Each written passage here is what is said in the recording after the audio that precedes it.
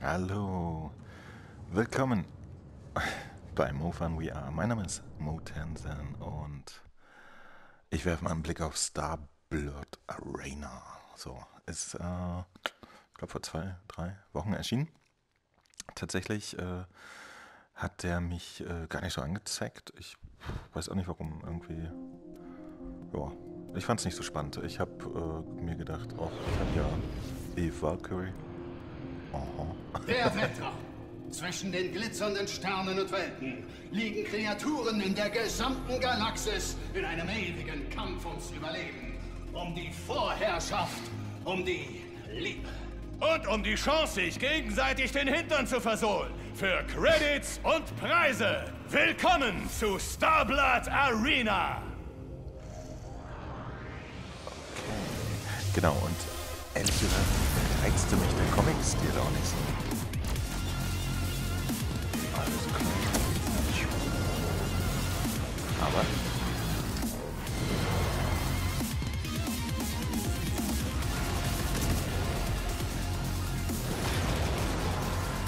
man kann sich auch mal überzeugen lassen.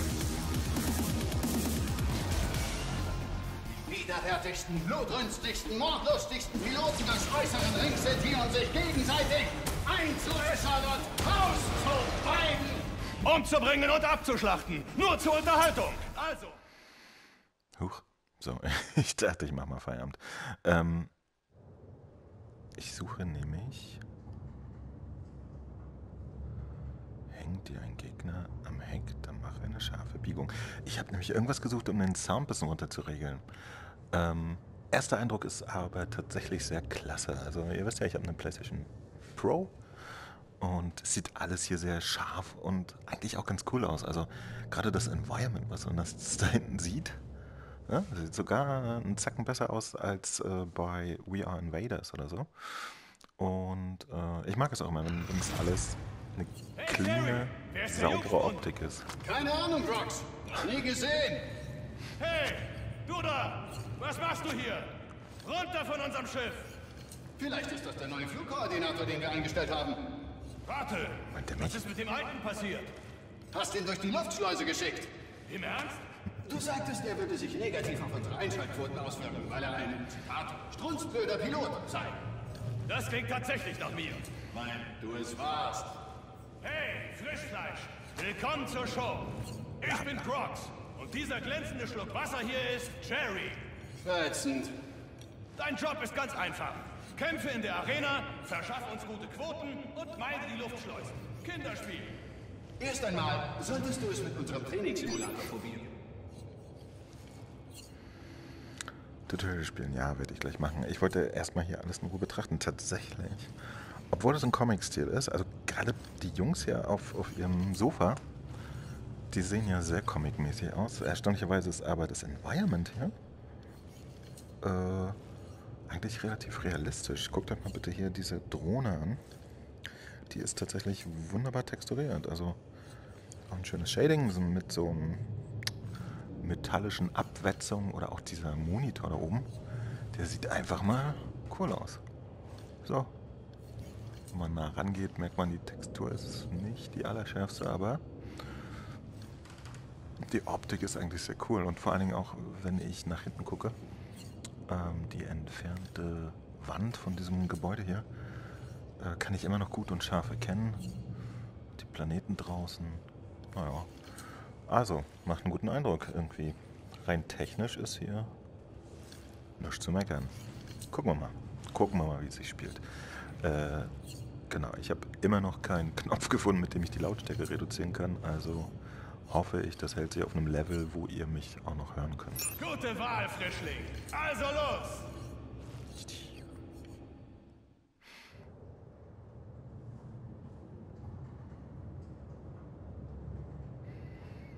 So, dieses äh, Rumgeschalte ständig von einem zum anderen Plattformmenü. Ist aber so ein bisschen nervig.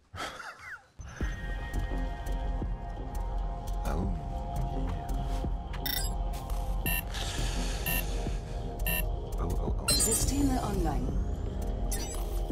So, Sieh mal an, wenn das nicht das Frischfleisch ist. Ich grüße dich, Pilot. Willkommen zum Burner-Tutorial von Starblood Arena. Wir nennen alle unsere neuen Piloten Burner, weil sie die meiste Zeit in brennenden Wracks verbringen. Also, setz dich hin und mach es dir bequem.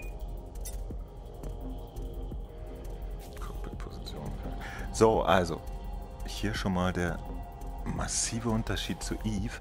Eve ist ja auf der äh, Unreal Engine, glaube ich, äh, ne, bin ziemlich sicher gemacht. Und alle Unreal Engine Spiele auf der PlayStation, auch auf der Pro, sind immer von der Auflösung so ein bisschen runtergefahren. Und das hier sieht gut aus. Sieht sehr gut aus.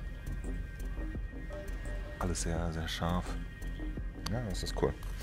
Ähm, der Effekt, dass man hier einen Körper besitzt, hat sich leider schon so ein bisschen abgenutzt, äh, wenn man jetzt äh, fast ein halbes Jahr VR gespielt hat. Aber ich mag es immer noch sehr gerne. Gut, das mal an, wenn ich den Trigger drücke, drückt auch die Figur einen Trigger. Ich mag es immer noch sehr gerne, wenn sowas hier passiert. Also ich, ich drücke die Sticks und mein virtueller Körper drückt auch die Sticks. So, was muss ich tun? Hat mir das jemand gesagt?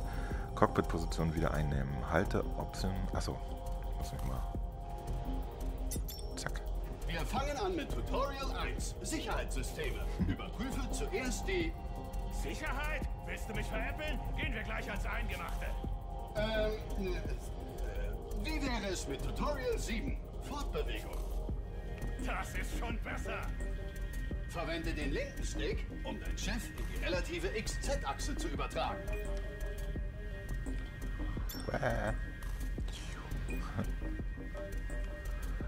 Rückwärts. Okay. Nach links. Okay. Und nach rechts. Das war einfach. Jetzt beschleunigen wir entlang der relativen Y-Achse. What? L1 sinken. Oh, okay. R1 steigen. Alles klar. Hey, der Fleischsack kann Befehle befolgen.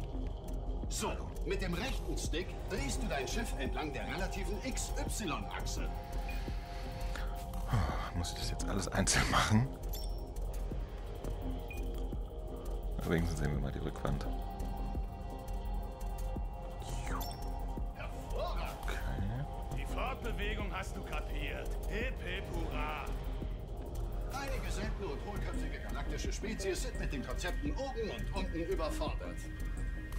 Dein Schiff kann ihre eigenwilligen visuellen Inversionen ausgleichen. Heutzutage hält sich jeder für einzigartig.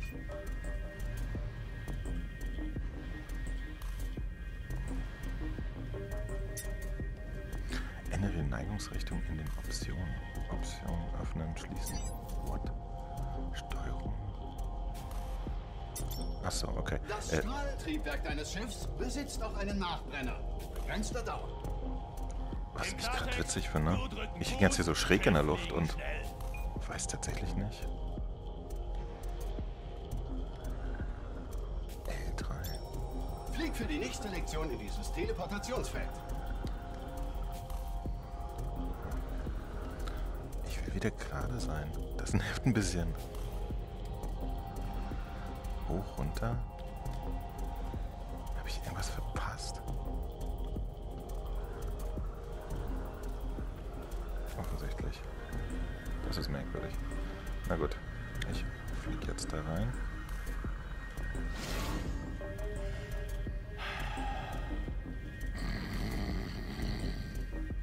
Aufwachen, weiter. Sie sind wieder da.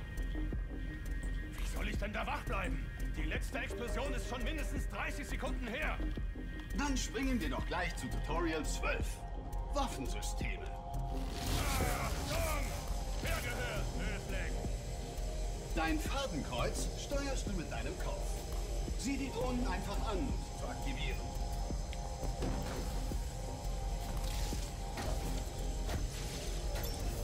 Ich Hab ich. ertrag das nicht länger. Jagt um Groxes Willen endlich was in die Luft. R2. Alter. Nicht schlecht. Das ist gut, Baby. Dein Schiff besitzt auch ein sekundäres Waffensystem.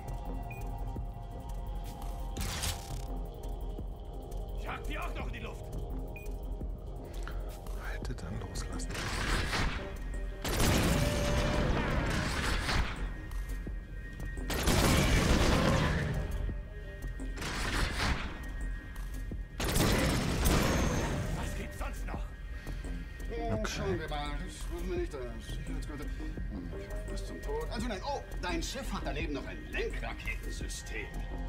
Dann mal Feuer frei! Sieh dein Ziel einige Sekunden lang an, um es anzuvisieren. Ich sehe es einige Sekunden an. Okay.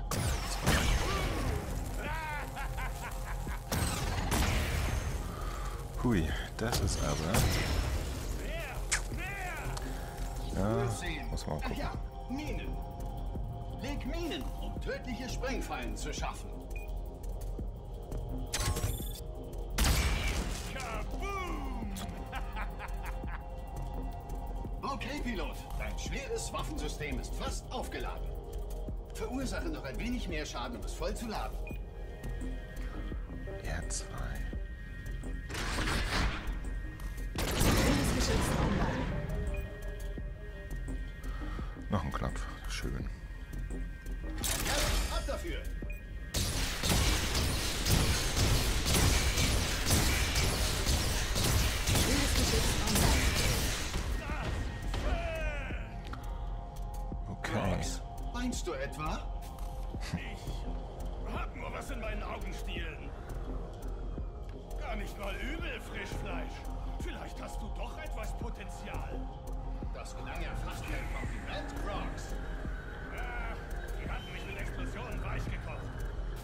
Dir noch nicht aufgefallen ist, dein Fadenkreuz zeigt den aktuellen Status deines Schiffs an.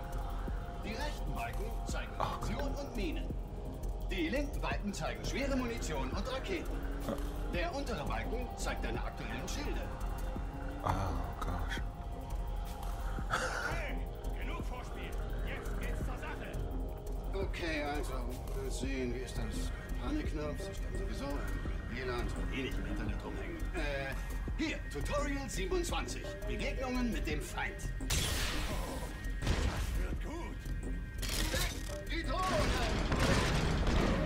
Diese kleinen Gesellen repräsentieren deine Feinde. Jag sie und vernichte sie. Ist einer übrig geblieben? ihnen über die roten Pfeile, die auf deinem Radar angezeigt werden. Nimm das. Ist auch noch einer? Joa. Gut gemacht. Kann man machen. Der Jungspund ist bereit für einen echten Einsatz. Rox, Okay, Frischfleisch. Dann verdien dir mal deinen Soll. deaktiviere Sicherheitsprotokolle. Kämpft!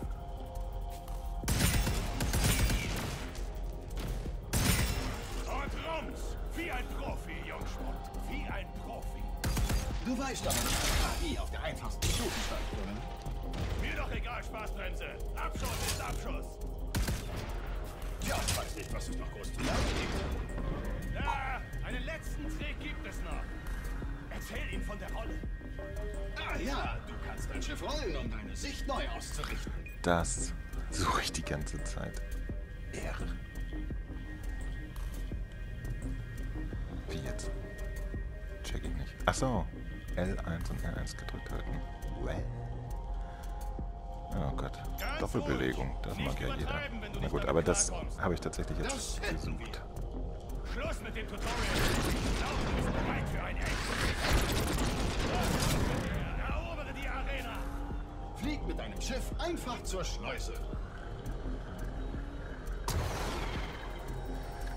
Schleuse.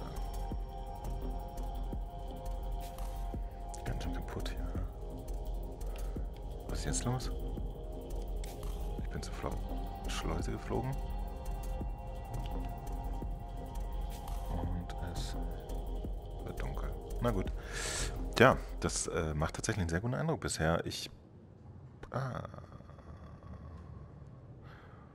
Rückwärts fliegst du nur mit 70% deiner normalen Geschwindigkeit. Ähm, tatsächlich äh, ganz anders als Ivalköer. Hier ist alles kristallklar. Das ist ein ganz schöner Pluspunkt. Also es ist schon sehr angenehm, wenn man in VR in einer Fünf Minuten, Leute, fünf Minuten. kristallklaren Crew anpassen.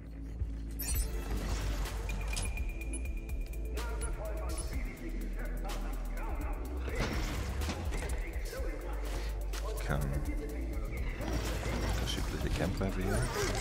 Tja.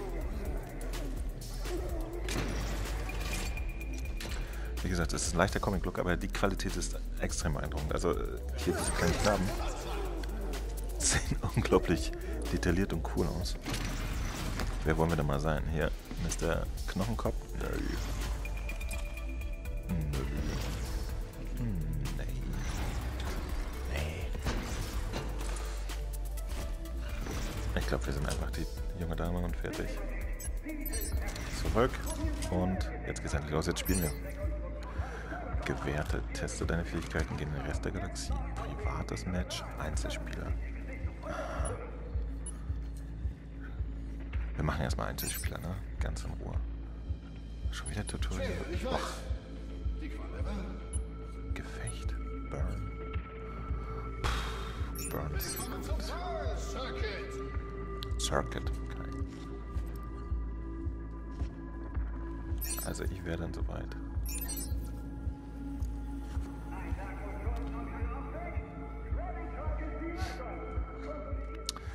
Äh, von der Skalierung her ist es ein bisschen eigenartig. Team Also alles Blue wirkt Bart. so Eliminiere das feindliche Team.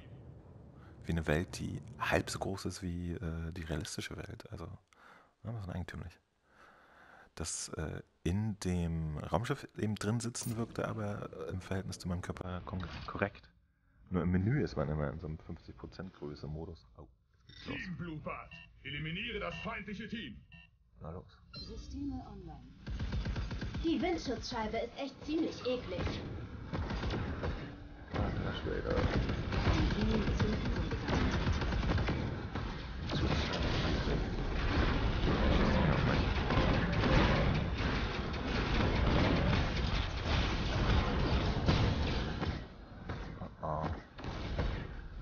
Meine Anzeige schwarz-weiß geworden. Das weiß bestimmt nicht.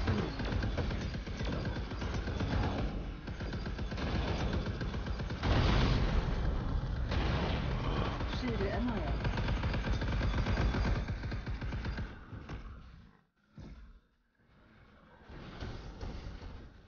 Schande. Ich kann ja noch nicht so richtig navigieren. Aber Schildstatus Schilde Wow. Du willst mich vergackeiern, oder? Verschwinde! gar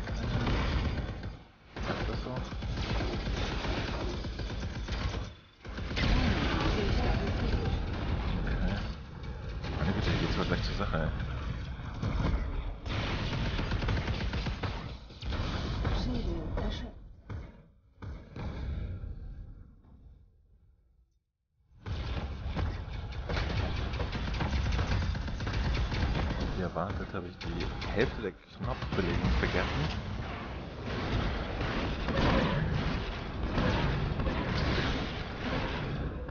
Ich weiß auch nicht, wozu der Würfel hier sein könnte. Ich sag mal den mal. Genau, was der Arzt verschrieben hat.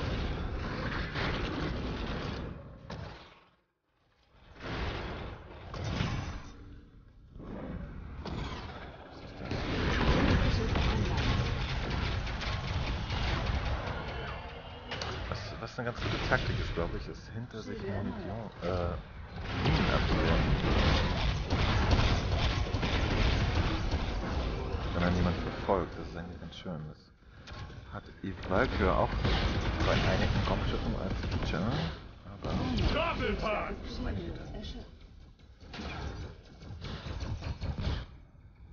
Ich glaube, ich bin durch. ich nehme Halt! mal runter. Nein! gibt mir ehrlich gesagt zu den Keks. Brauche ich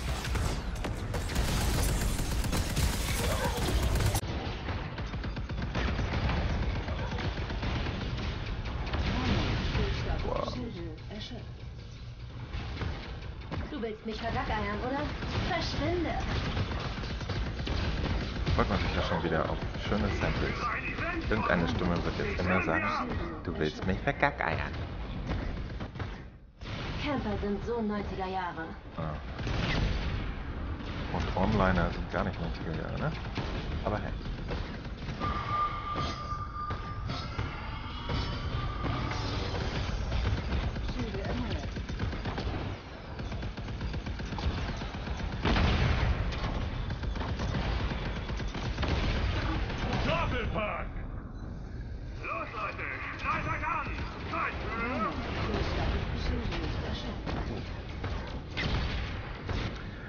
Schon, ich bin jetzt äh, äh, buchstäblich sprachlos. So, hier geht es nämlich ganz schön zur Sache und wenn man das das erste Mal macht, ist das Weil es sonst niemand will. kein Zuckerschlecken.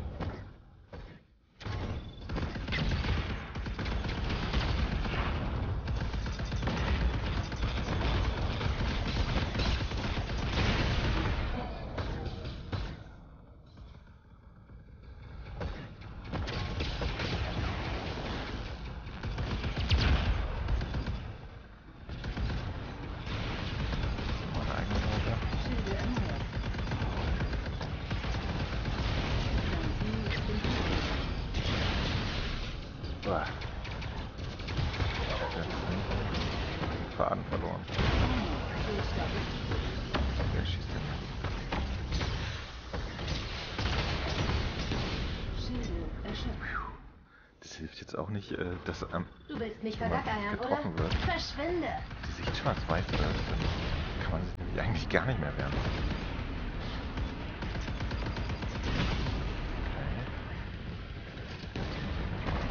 Okay.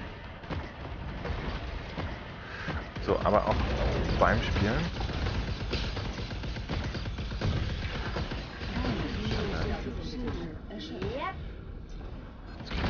schnell, dass man hier down ist. Ja.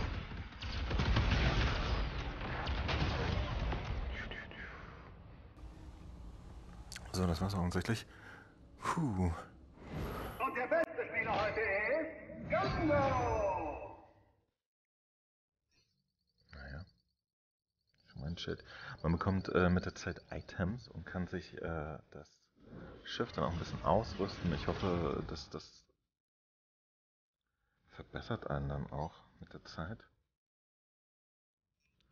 Ich habe es nicht auf dem ersten Platz geschafft. Also, noch nicht mein Fall. Es ist halt äh, äh, ein bisschen von dem drumherum. Also ich, ich keine Ahnung, das ist jetzt Geschmackssache. Ich, ich könnte mit so ein bisschen ernsthafteren Sci-Fi eigentlich gut auskommen. Ich brauche jetzt diese ganzen abgedrehten Figuren und so nicht. Äh, Und tatsächlich, die Mucke hat mich auch eben genervt. So Jabba-Dabba Gitarrenmusik irgendwie, boch. Brauche ich auch nicht. Ich gehe mal zurück.